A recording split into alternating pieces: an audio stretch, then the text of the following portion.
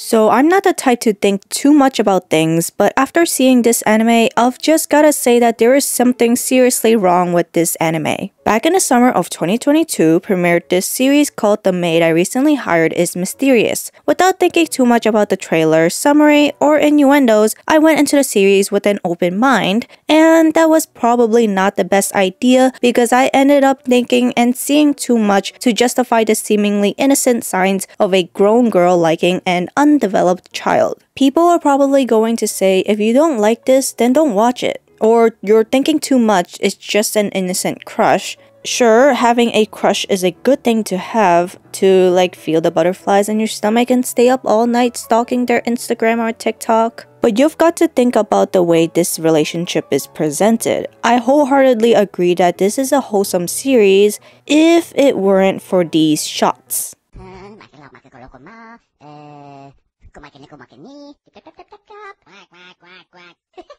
In actuality, this is insinuating that there is more to the maid and young master relationship. Sure, the feelings of the two characters are nowhere near romantic right now, but in the future there might be. Even though this may be a dream come true for the children who has a crush on someone older than them, it is not exactly proper to portray their relationship on screen in such a way. In reality, this gives off the feeling that the maid's attraction to her young master is more than just friendship. Some people may also say that age is not a barrier to love, but that is exactly what it is when minors are involved. Large age gaps between two consenting adults may be frowned upon, but they are at least prepared for the backlash, and they know what it means to have those years in between them. A child does not know this. So it's not right to push them into a relationship they're not prepared for. This series was portrayed in such a way that make it seem as though it is a positive thing that an older girl falls in love with a child. Although there may be a culture difference for such beliefs,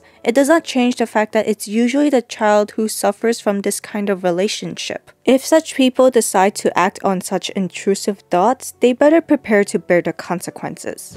When watching the first episode, I already got the sense that the anime was trying to justify itself as a childhood love story. To begin with, the anime's two main characters are too far apart in age for a true romance, with the tsundere protagonist Yuri being around 10 years old, 11 or 12 maybe, and Lilith being around late teens or even early 20s. In episode 1, we start with a lonely boy who seems fine on their own but actually misses having people around. Aww. Then comes a beautiful girl who is calling the boy young master because she is the maid who is going to be serving him from then on. Right away, the boy is captivated by the maid who calls herself Lilith, I mean, I'm not gonna lie though, she is very pretty. It seemed very heartfelt until the angles kept showing her chest area. I really thought it was my imagination, but then episode 2 came around. And I was right to say that this anime is problematic because the existence of the series was just to satisfy the hearts of the many disturbed people that lurk around the internet. From this point on, the series served more as a fan service because all we can see is Lilith being a suspicious maid. I'm not saying that there weren't any heartfelt scenes, but I think those served more as an excuse and to save whatever dignity is left by the author of the series.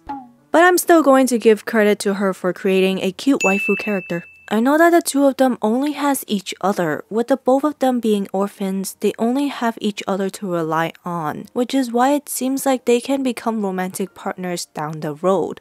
It is still rather problematic when Lilith seems to unknowingly make advances on Yuri. It seems harmless to them because the both of them have never encountered anyone like them, and so it seems innocent because all they're doing is indulging one another with their antics. In this same episode, Lilith is seen with a normal maid outfit, but upon arriving at the mansion, her clothes become more revealing. I don't know the reason for this outfit change, but I'm pretty sure the author did this on purpose because anyone who is on duty should not have such an outfit, especially when cooking and cleaning is involved. It's a hazard to have skin exposed like that when doing these chores, and it's not very practical. I guess if the purpose is to make the character have more sex appeal, then it worked. Episode 2 is when things get even more suspicious since Lilith seems to care a little bit too much for her young master. She even goes as far as saying things like having a secret ingredient called love.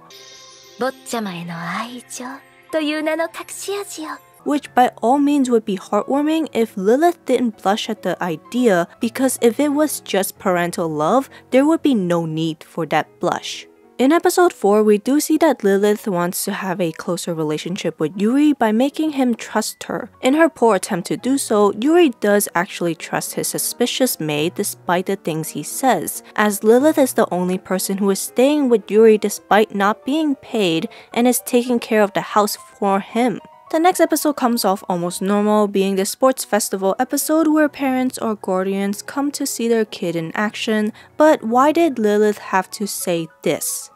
そうおっしゃると思ってギリギリまで悩んだのですが早く坊ちゃまの顔が見たくて我慢できませんでした It really gave off a vibe that I didn't like and it seems to insinuate the thing. at last, we have reached a sick episode where the person who becomes ill acts weird and shows off a different side to their love interest. I mean, young master. This episode really showed Lilith in a more bolder light, and I'm pretty sure at this point this is not a one sided crush, and romance is becoming a part of the series. At this point, no one is being subtle. Seriously, why do we let these things become anime? Through the next few episodes, Yuri and Lilith become more emotionally attached to one another, not wanting to leave another and to see each other as fast as possible, to be able to open up to each other and learn more about one another.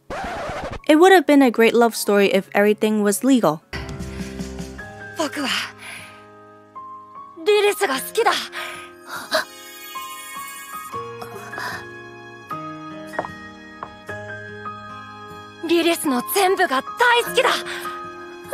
And now it's no longer a crush from the young Yuri, it's full on love. Yay. I'm sorry, Yuri, but it may be better off to leave this a crush until you're of age. Also, Lilith could have been the more mature one and taken a step back to establish boundaries, but no. Even though it left itself on an ambiguous note where their love is not officially pronounced to be a romantic one, you can pretty much tell that it is heading that way. Really, this part of the anime where Lilith asks her young master what kind of love he's feeling is used to cover up how Lilith feels for Yuri. There is a high chance that Lilith does see Yuri as a love interest but won't act on it due to their difference in status. But I just feel that the difference in status is used as a cover up for the more problematic portrayal of love the series is showing. This type of content can be damaging to young viewers who may not fully understand the implications of such relationships. It can normalize behaviors that are not acceptable in real life and can lead to confusion and harm.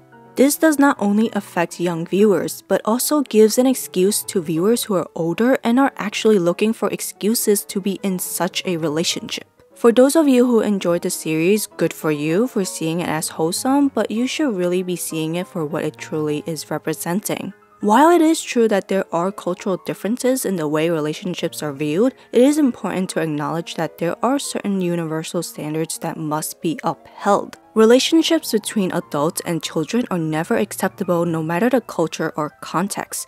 As consumers of media, we have a responsibility to be critical of the content that we consume and to hold creators accountable for the messages they are sending. It is not enough to simply dismiss problematic content as just fiction or harmless entertainment. We must demand better and actively work towards creating a safer and more responsible media landscape. There may be some elements of the series that are enjoyable, but the underlying message and the portrayal of the relationship between the maid and the young master is deeply problematic. We must be vigilant in calling out and addressing problematic content in media and work towards creating a more responsible and inclusive media industry. But here are some of my other videos if you're into the more anime related things. I also have some Genshin videos if you would like to check them out. Hope you enjoyed the ramblings of some random girl on the internet and I will see you all in my next video. Bye!